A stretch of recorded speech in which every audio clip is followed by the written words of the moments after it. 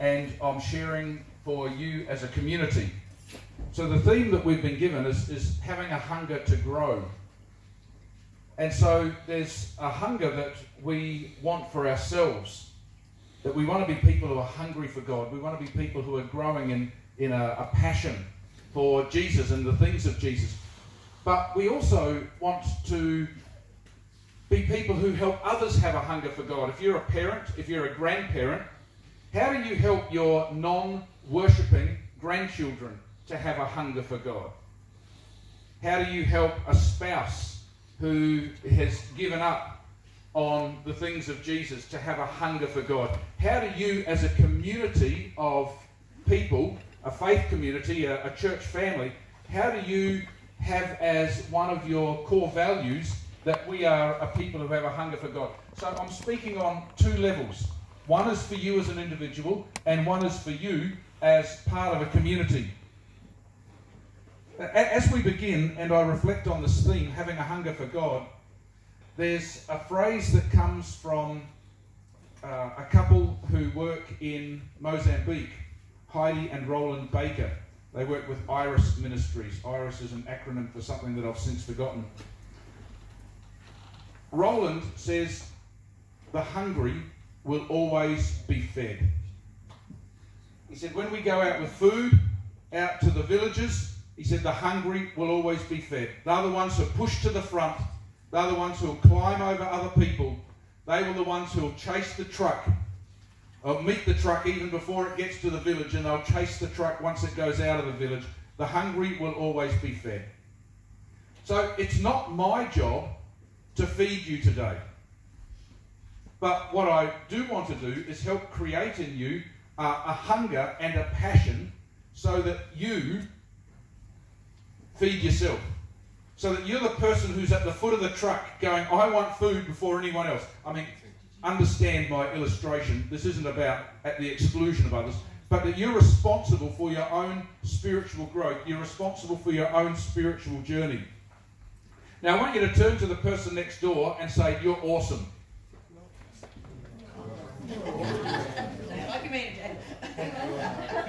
Yeah, yeah, we've got a, we've got a few people agreeing.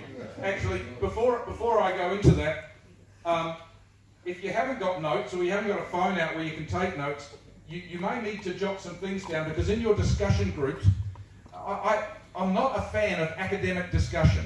I don't want anyone in the discussion groups to go, oh, he was a really gifted speaker, or oh, he mumbled a lot, or I couldn't understand what he said. That, that's, that's evasive discussion groups, and it doesn't bring transformation to anyone. So the things I would like you to discuss, and if you get into groups of six, you may find that six is too many. It may be one on one. What's your name? Rod. Rod. It may be Rod and me for a start. And if you've got six, so let's let's try and have groups that don't have odd numbers. It may not always be able to happen. So that even in your groups you can get into a pair and firstly do this in the pairs and then share the overflow of your pair sharing with the group. So what one thing impacted me most for my life personally so, not out of what I say, but what Holy Spirit prompts in you. What's one thing that you're going to hear that's impacted you most for your life personally? What will this mean for me? Are there any steps I'm called to take?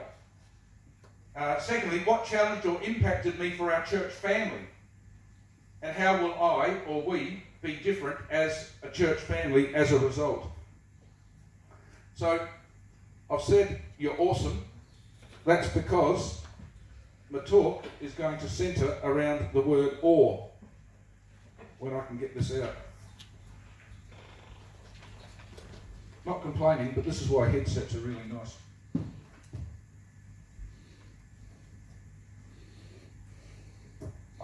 We're going to look at some ors. So that's the kind of awesome I'm talking about. The first thing in developing a hungry for God, hunger for God, do we want delegated Christianity or an empowered, that was a comma by the way, personalised faith.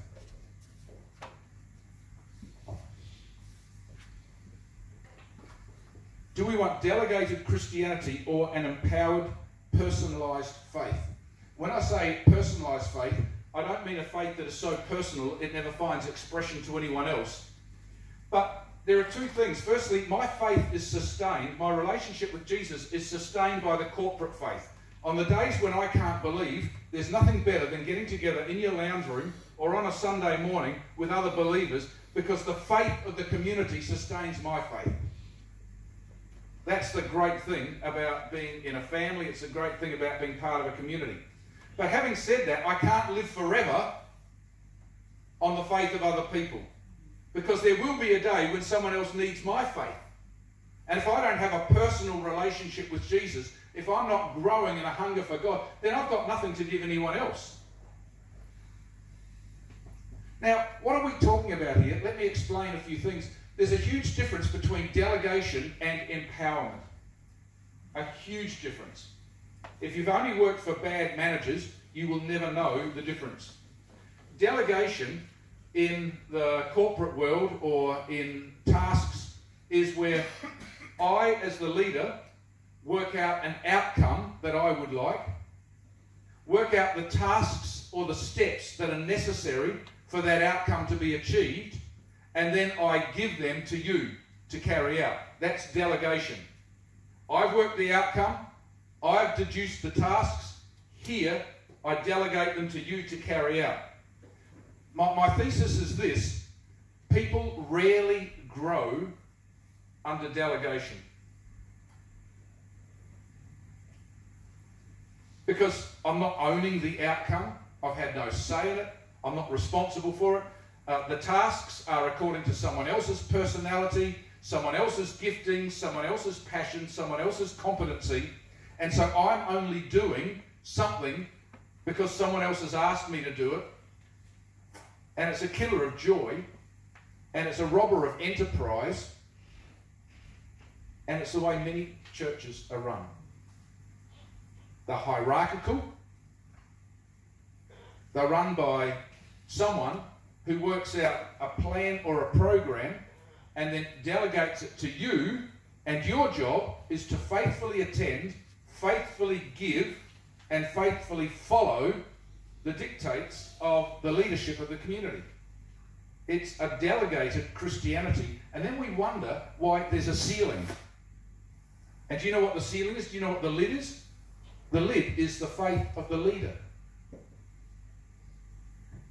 You know, it's like being in a, a, wheelie bin and you want to grow beyond the wheelie bin, but you can't because that's the environment you've been put in. Empowerment is where, um, if Rod, isn't it? Yeah. So I get together with Rod, and together Rod and I look at the situation before us. Together, Rod and I work out an outcome that is going to be good for the community or the family and then because I because I trust Rod, I, I, wouldn't I wouldn't be doing this with him if I didn't trust him. Because I trust Rod, because I respect Rod, because Rod's got gifts and competencies, I say, Rod, we have this agreed outcome. Go. The world's your oyster. And so Rod then goes away and he works out the steps or the tasks according to his personality, his gifts, his competencies, his strengths, his passions, his way of being. I'm a resource. Anything you need, come and see me. Anything you want, I'll see if I can provide it for you. You need a budget? Here it is. You need more budget? Here it is. And if he asks for it, I'll usually give it to him. Why? Because I trust him. That's empowerment. Christians grow best, and faith grows, and hunger grows in a culture and an atmosphere of empowerment. You know, one of the worst things that happens is when uh, a senior pastor of a megachurch discovers a new truth and he preaches it in a sermon series. And then the sermon series is taken by one of their staff members and put into a book. You know, don't think that Bill Hybels or Rick Warren have the time to write books. I've got the time to write messages. But then some editor takes it and puts it in the book, and they put out the book, and it goes to Koorong, and you and I go in there and go, oh, you know, um, Bill Johnson's written this. I'll buy it. But you see, Bill Johnson's got this personality and these habits in his life, and you're over here and you've got this personality and your habits in life. And so you now start to adopt the things that Bill Johnson says you should do or it'd be good to do, and after three weeks you get frustrated and you give up and you think, I'm useless. I've tried this before. It never seems to work. Uh, you're not useless. You're not hopeless. You've just been cutting and pasting.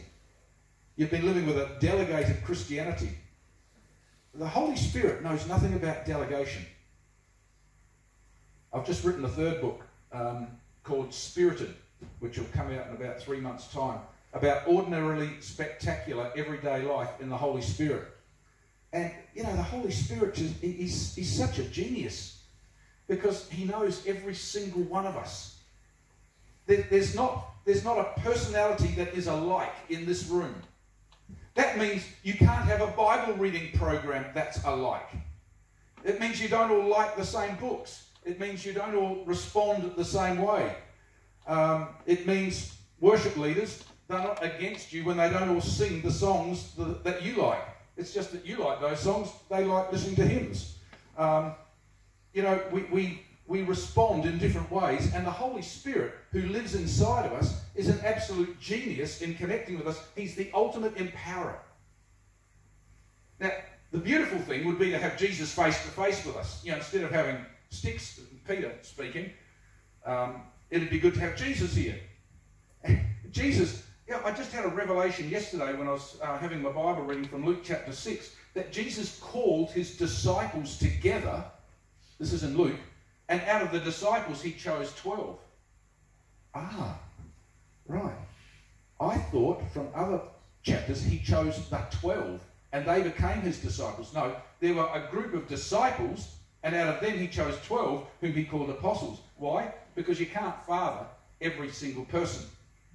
You know, 12 is probably the maximum that you can do at one time. So, so he takes these 12 and he gives them everything he's got from the Father. So not everyone got access to Jesus in the same way the 12 did. And then he throws himself into the 12 for three years. And then near the end, he says to them, By the way, guys, um, I'm out of here. Uh, I have to go. But when I go, I'm not going to leave you as orphans. But I'm going to send you the Holy Spirit, the Spirit of truth. Now he says, I'm not going to leave you as orphans. At the end of Luke chapter 24 and at the beginning of Acts chapter 1, he calls the Holy Spirit the promise of the Father. Because as Jesus has fathered these 12 disciples into the heart of the Father, because one of the themes through John's Gospel is Jesus only ever did that which he saw the Father doing. He wasn't needs responsive, he was Father hearing and Father responsive, he said, uh, I'm going to give you the Holy Spirit, the Spirit of truth, and he will lead you into all truth. Everything you've seen me do and heard me do, the Holy Spirit will do. In fact, when you get the Holy Spirit, you get something better because right now I'm speaking to you. The Holy Spirit's going to come and live inside of you. You see, if Jesus had stayed, now we know that in China at the moment there's close to one and a half billion people. India's got about 1.1 or 1.2. If Jesus was to do a 50,000 seat stadium, you know, every day of the year, there'd be a whole another nation of China born by the end of the first year, and he'd only got through one country. So he said, I can't do what I'm doing with you guys forever. I've done it with you guys, but now I have to go. So through my spirit, I can come back and do what I'm doing with you inside everyone. That's empowerment. Where you and I say, I've got to stay small group leader, I've got to stay band leader, I've got to stay youth leader, I've got to stay, um, you know, ministry team leader. Jesus says the opposite. He says to his disciples, guys, I've got to go. We say, I've got to stay. I'm indispensable. Jesus says, I've got to go. Because Jesus trusts the Holy Spirit. The Holy Spirit empowers. The Holy Spirit relates to every single human being. And unless you grab hold of this, then you won't be leading anyone else into their own hunger for God, but they will be feeding at your bosom. They will be forever dependent on you. And likewise with you. You don't need to copy anyone else. You are you. You're unique. You're beautiful. You're brilliant. You're shaped in a certain way. And so the invitation is for you to find the way that you're shaped. You know, I know a person who who reads one Bible verse a week. He doesn't memorize it, but he well, he reads a short passage, and out of that passage he picks one Bible verse, and that's his Bible verse for the week. He writes it out in a card, puts the card in his wallet and takes it with him. Every now and then he pulls it out. That's his quiet time. Uh, I know other people who read four or five chapters a day. Now you tell me which one's right, the one verse a week or the five chapters a day? Yeah, is more better? Who's getting more of the word? Well, if you read my orange book back there, you'll find in chapter 4 I tell you about how to soap, scripture, observation, application, prayer. But in chapter 11 I tell you how I turned soap into a stairway to heaven and thought God was impressed because I got through to May one year without missing a day. Four chapters of the Bible a day. Victory, winner. And God says, Peter, stop reading. The Holy Spirit actually stopped me reading the Bible for about six weeks because He said, I have to detox you from thinking you're impressing me by the amount of your reading. So, we're not after an amount, we're after a relationship, we're after intimacy. Find out who you are, how you work, and grow in the Word according to who you are. It's empowerment. Delegated Christianity or empowerment. We're in trouble if I spent that long on, on that one. This next one's very simple because it follows on from what I've said. Meat or milk? I can't remember which of my books it's in. Um, I think it's in the orange one. A friend of mine, Craig Kirkby, he's actually my editor. Uh, he was a senior pastor of a large congregation in South Africa before the Holy Spirit told them to get their hands off the bride, his bride. They turned it into a business and a corporation. The Holy Spirit said, I don't like that. So they dismantled the congregation and sent them into smaller communities of faith. Anyway, Craig was shaking hands with a man after the service, and the man came up and he said, Wow, you know, that was a great message today. He said, You really, you really fed me meat today. Craig reflected and said, Yeah, it was one of those sermons where he'd said, You know, in the Greek, this word means such and such. And so he'd used a few intellectual phrases, and the man said, You know, wow, you really gave us meat today. And Craig reflected, he said, Well, actually, today I gave you milk. And the man says, No, no, no, it was a deep sermon. You, you gave me meat. He says, Well, actually, it was milk. The man said, Well, what do you mean? He said, Well, Craig said, Well, see, like a cow chews the grass, he said, I studied the word. I chose the text. I studied the word. I chewed the word. I, I, ruminated on the word. The word of God became part of me. It became part of my system. And so today, what was happening as you were listening to me, you got what I had been ruminating on. In the bovine world, we call that milk. I chew, you as the calf come, feed from me, you get milk. But whenever you study something for yourself, whenever you learn something for yourself, you get meat. So, Alan, you get great milk around here. But when you study the word for yourself, you get meat. When you meet with another bloke or another girl, or when you ring someone up on the phone and say, Guess what I discovered? So we've stayed, we stayed for a few days uh, just recently um, at our daughter's place, and then we visited some people who've got a, a, a, small church community near Walla Walla. And I went for a run one day and I was listening to, um, I was, what day was that? I was listening to Luke chapter 3 uh, just a couple of days ago. And I had a revelation. And it was such a deep, re- I'd go off track if I was giving you the revelation. Julie wasn't around. I hopped on the phone to my mate Robin, who's a spray contractor in South Australia. I said, Robin, guess what? and so I shared with Robin my revelation. It took me about two or three minutes. I said, It is all about sonship. And Robin goes, Wow, what verse was that again? I said, Oh, it doesn't matter. It's in Luke chapter 3 somewhere. He said, No, tell me so I can look it up. I said, Well, if you want to look it up, you'll find it. I'm out running. so I grew from what I listened to and from what the Holy Spirit showed me, but I grew even more as I shared it with Robin. Then Robin's going to grow and Robin's going to go and look it up for himself. I wasn't going to give him the verse and the number. That's sharing meat. You can do this. You can do this. If you think you can feed off him once a week, what what what drinks milk? Ladies. babies from the bosom. Yeah, babies. So, yeah, don't carry the image too far, otherwise you'll get freaked out. But um, you know, you're not you're not going to feed off this bloke forever. What he's what he does is empowers you guys because I know his heart and he's an empowerer, and, and the other leaders in your community, they empower you to become. It should be the other way around, shouldn't it? Yes. Uh, you get the idea. Okay, unless someone, I'll fix it up later if someone's going to take a shot of it. Okay. Thanks, Julie. Oh, you want, here's my hanky.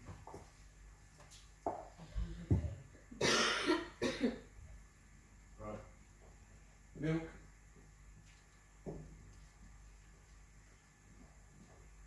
By meat over there, you get your own meat. Ease or struggle.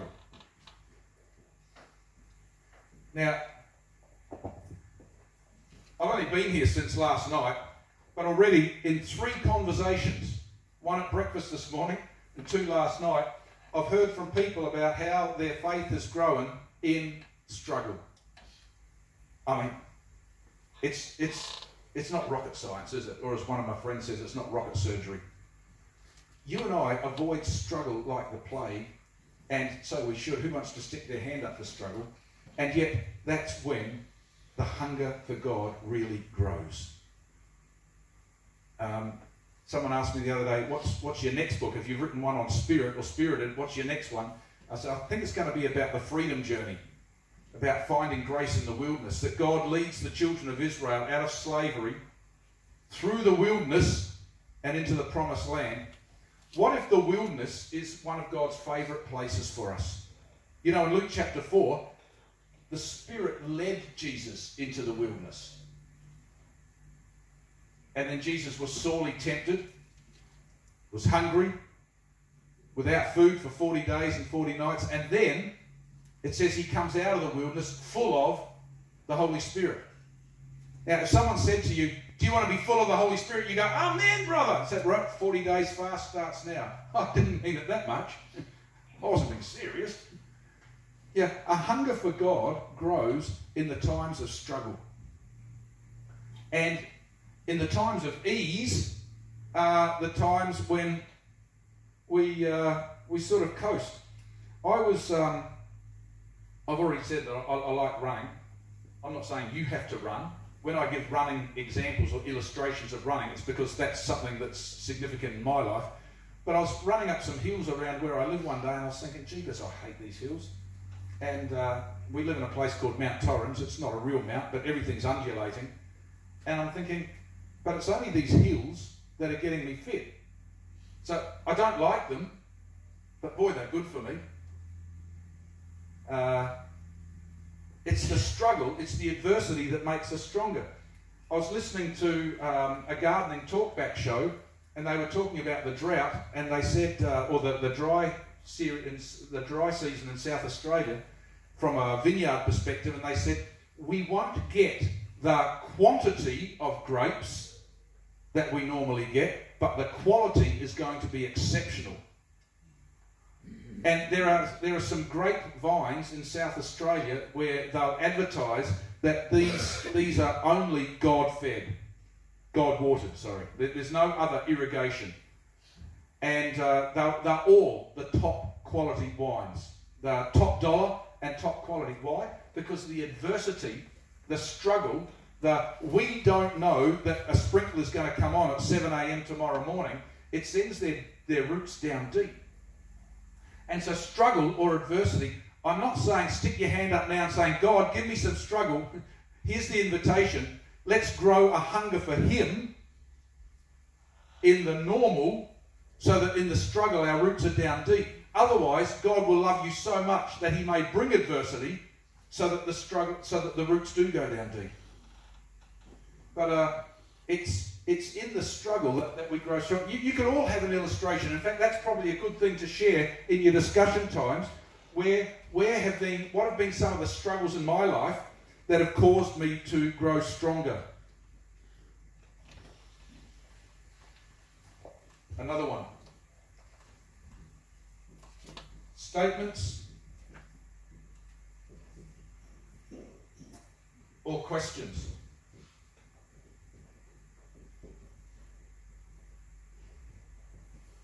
A friend of mine said uh, that he used to think that life was all about the exclamation mark, but as he's got older and matured, he realizes that life is more about the, the, the question mark than the exclamation mark. You see, when I teach like this from up the front, I have to make exclamation marks because otherwise I'm wasting your time and mine. But when we get into our small groups and when we get into our pairs and when we do life with each other, if you just have another person who constantly makes exclamation marks to you, it's, it's not only boring, but it's actually patronizing. It's about question marks because it's the question marks that take us deeper. And of course, question marks are followed by space. Meditating, Christian meditation, not Eastern meditation, Christian meditation is about question marks. You'll hear about that from Julie in uh, the, her elective on hearing the voice of God. You'll probably hear about it from me in one of my later sessions. But um, in the, the green book over there, favoured, you know, the angel comes to Mary and says, Greetings, favoured one, the Lord is with you. And it said, But Mary was greatly perplexed by this and pondered in her heart what this might mean. Question marks lead to pondering. When you make an exclamation mark, there's no pondering. It's usually, I know it, exclamation mark. I've said it, exclamation mark. I've declared it, exclamation mark. That's the end of it, exclamation mark. You shut yourself off from growth. You shut yourself off from an adventure. People say to me, Peter, where do you get the teaching from that you teach? I say, I ask questions. I read a scripture, or when I'm out running, I listen to a scripture and I ask questions. My revelation that came the other day that I rang my mate about was uh, when Jesus had been baptized by John the Baptist, and it said then while Jesus was praying, heaven was open. Well, I teach that in fact uh, the whole central central section of the Orange Book is about the Father heart of God, and it happens when Jesus is baptized, and the Heavenly Father says, "This is my Son, my beloved, and I'm well pleased with him." And my whole thesis is that this is before Jesus has done anything. You know, he hasn't done any miracle, called any disciples. So here I am running the other day, listening to Luke chapter 4, uh, Luke chapter 3, and it said, after Jesus had been baptized and while he was praying, and I'm thinking, uh oh, he did do something. What if there's a group of Christians who are going to say, ah, the prerequisite is when you are praying, God will reveal his father heart. You don't have his father heart because you haven't been praying. So, so when I finished listening to Luke chapter 3, I said, Jesus, please show me, tell me, what were you praying about? I don't, I don't only want to know, but I need to know. And all these things came up in my mind. I tell you, was he, were you praying about this, Jesus? Were you praying about this? Were you praying about this? Were you praying about that? and I came to the conclusion that Jesus was praying, Father, show me, show me where I fit. Show me where I belong. I'm, I'm 30. And I know you've called me here to be baptized by John. Show me what you want to do. And the next thing the Father shows him is, You're my son. And you know how Luke chapter 3 finishes? With the genealogy. And this is so and so, the son of so and so. So and so, the son of so and so. So and so, the son of so and so. That's where you fit Jesus. And it finishes up with the son of Adam, the son of God. Ah, Jesus, you fit because you're the son of God. And then heaven is open, the Holy Spirit descends like a dove, and Jesus hears the Father say, You're my boy. I love you. How did I get that? Because I asked a question. You can do this. You know, it's okay to read Light for the Day. It's okay to read Oswald Chambers. It's okay. You know, that orange book over there, you can read a chapter in four minutes. I encourage, the, not the orange one, the green one. I encourage you to grow into a life of favour. But, but, but basically, I encourage you to ask questions of the Holy Spirit. Ask questions. You know, we were talking this morning in the in the prayer time about what was it? Taking off the washing and in the maths test. Maybe not in the maths test, but taking off, the washing off the line and folding the washing. What a what a mundane task. What a great place to ask God a question. If there's something you don't understand, you can ask Him anytime. And you don't have to get the answer in the same moment you ask the question. But I can guarantee you this one thing will give you a hunger for God more than anything else, and it's asking Him questions. One thing will grow a passion for Jesus more than anything else, and it's asking him questions. So here am I at Will's place. Will is a church planter in Adelaide, Will and Nikki, and I'm a spiritual father to him. I like that better than mentor because mentor is an imparting of information. Will doesn't need information from me. He needs someone to believe in him as he's on this journey. That's what a dad does, believes in his kids. So I'm a, I'm a dad to Will. And uh, I was down there and we'd finished our, our time. Nikki was in the room, his wife. And I said, What's the time? And he told me. And I realised I had 15 minutes. I had a 20 minute journey to be at an appointment in 15 minutes' time and I couldn't let this bloke wait. So I said, um, I've got to go. But before I go, I've got to go. Where's the toilet? I said, down there. So running well, I'm walking to the toilet, and Nikki, who'd been off in the background, just jumps in front of me. And she said, Oh, Pete, just before you go, I've, I've just got a question. She was pregnant.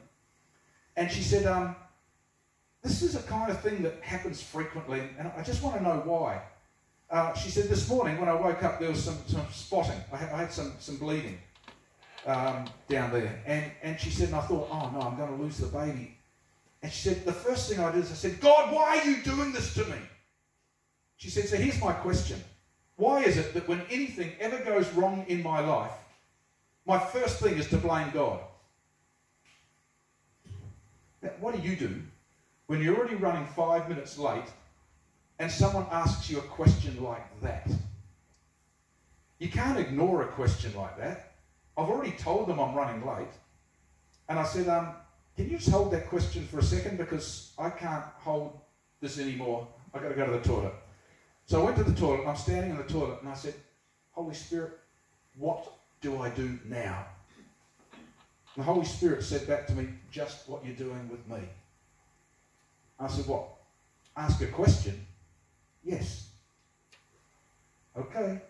So I went back, and this is true story. Julie and I have had this discussion. I said, Nikki, Julie and I have often said that you are the consummate question asker. I said, okay, often you ask it to defer. You don't want to talk about yourself. You want to get us talking, so you do it. But you've also got a counsellor's background. And she goes, yeah, thanks, Pete. That's nice. And I said, so I want you to do that of God. And she said, What do you mean? And I said, Well, I could give you an answer, but whatever answer I give you is going to be quick, probably glib, and won't be very satisfying. So I said, Just trust me on this. Ask the same question you asked of me of God, except instead of saying to me, Why do I blame God? Say, God, why do I blame you? I said, Can you do that? And she goes, Seems weird, but yeah, yeah, I think I Fast forward six weeks. I'm out running, praying.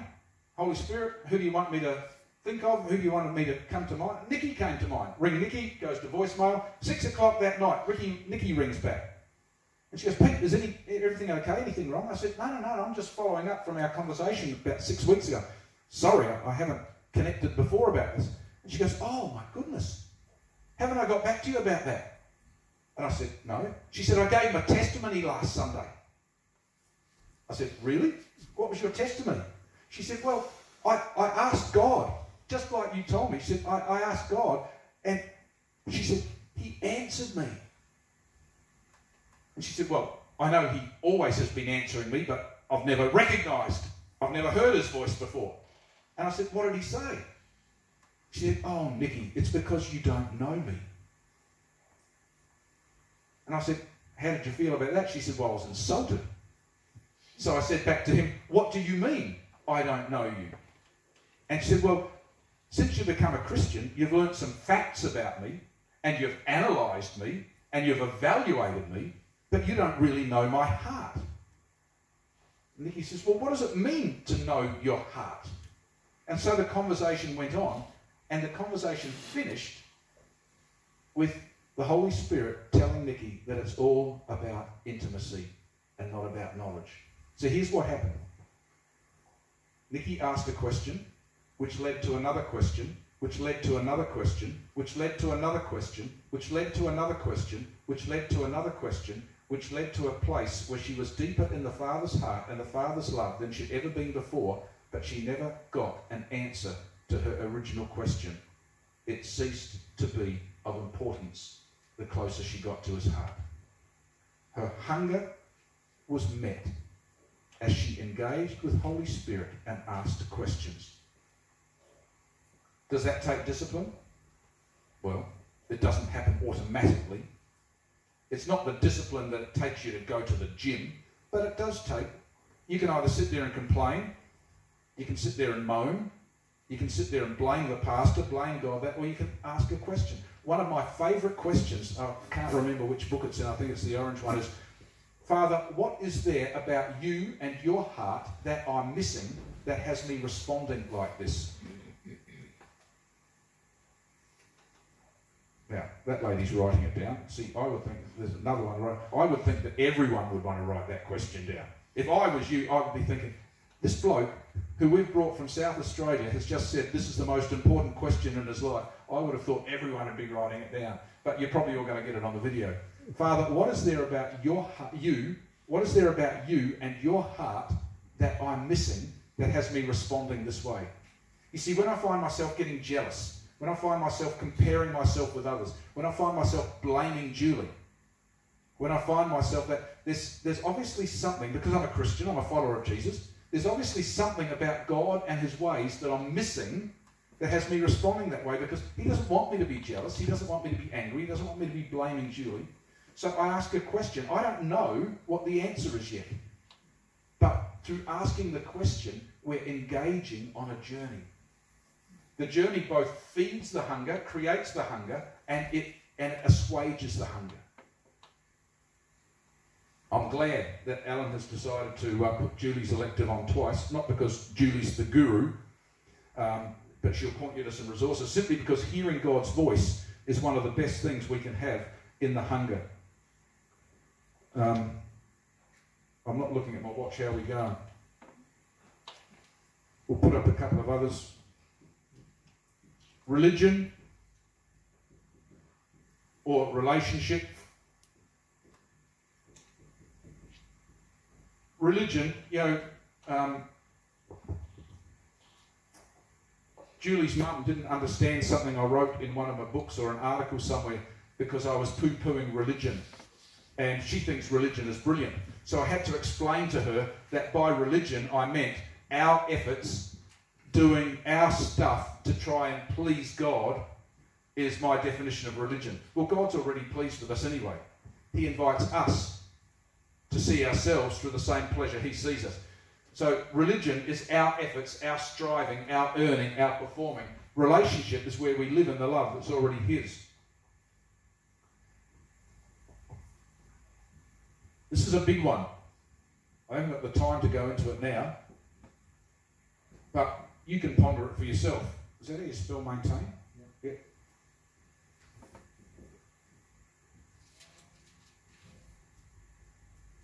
Maintain or give away. When, bless you, when our focus is to maintain, we stagnate. If I said, I want to maintain my fitness, that's okay. I want to maintain my fitness, but I'm not going to grow. I'm not going to push myself. I'll go for a walk, but I won't go for a long walk. Um, I'll have three helpings of dessert or whatever. Why? Because I'm just maintaining. As soon as I start to give away, I start to grow. You start to do something for someone else, you develop spiritual muscle one of the one of the things we've discovered as we've been helping communities do church outside of the building is that sometimes some of the people that we end up meeting are people who are reacting to institutional church. The larger the church, the more likely it is that people get burned. And so often because of an orphan spirit, they feel, well, the pastor didn't notice me or my small group leader didn't ring me. But then some of them have just been hurt and they come together and they gather in a small group, and all they do in this small group is talk about how bad it was in the past community they were in. Guess what happens? Not only do they not grow, but they actually shrivel. They fester. Because instead of their hunger being filled by a loving God, They are feeding their hunger with all the things that First Corinthians 4, uh, that Ephesians 4 says don't. You know, don't let the sun go down on your anger. Um, don't speak bad words about others, but use only words that bring grace and build up. Um, put aside malice, slander, wrath, anger, bitterness, and be imitators of God as dearly loved children. Well, when you get together in a Christian group and you practice gossip, slander, malice, unforgiveness, you think you're going to grow? Hello? It ain't going to happen. But when we start to give away, when we start to gather as four or five people, or 40 or 50 people, and we say, Father, why have you placed us in the city? Why have you placed us with each other? Why have you given us the gifts that you've given us? Why have you, why have you given us this block of land? And why are these houses being developed around this block of land? Why have you placed me in a small group with these people? I don't even like them. And the Father says, so that you can grow to love them. Ah. And so then he does a work in you. And you partner with the Holy Spirit who's already in you to find out how you can give to there, give to there, give to there, give to there, give to there. When you give away, you become strong. Someone gave me a hug the other week and they said, Oh, you're actually quite firm up there. For an old man, it was a backhanded compliment. They said, what, what, do you go to a gym? I said, No, I don't go to a gym. Last year I had six people relying, six families relying on me for firewood. This year I've had to, because we're travelling so much, I've had to cut it down for four. I said, This is just firewood. Oh. So because there are people who I get to give away to, I grow stronger. The same thing happens spiritually. When you see someone in your street who's lonely and you invite them around for a meal, you grow stronger. When you think of someone, when you're out walking or buying the newspaper and you see them across the side of the road, you think, oh, I'm going to ring them. And you get home and you ring them. One hour goes by. Instead of thinking, wow, what a boring phone call, you think, man, I was able to bless someone else today. You grow stronger. It's a great thing. Okay, just a couple more, otherwise you won't have any time in your groups. Two more.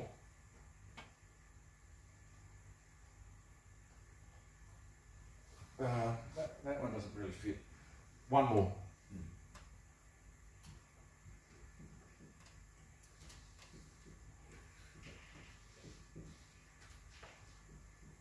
This is an interesting one because I understand what people mean when they use the word